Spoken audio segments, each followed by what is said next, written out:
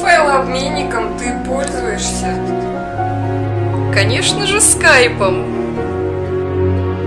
Но почему? Ведь существует множество различных файлообменников.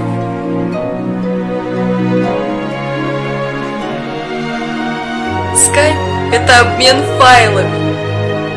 Это не только входящие, но и исходящие вызовы. Скайп – это гигабайты свежей информации. Скайп – это общение. Скайп – это рост. Конечно, сообщу тебе в скайпе.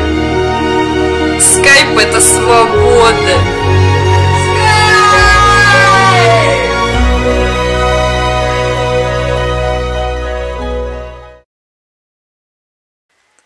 Алло. Да, конечно. Свяжемся по скайпу.